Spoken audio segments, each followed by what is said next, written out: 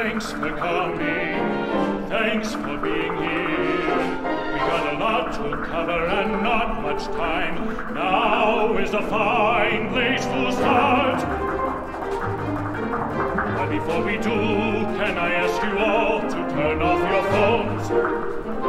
Turn them off. That's right, turn them off.